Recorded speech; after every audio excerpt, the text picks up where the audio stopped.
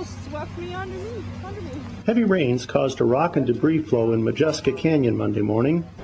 As residents surveyed the damage, crews with OC Public Works showed up to clean off Modjeska Canyon Road and haul away the rocks, mud, and debris.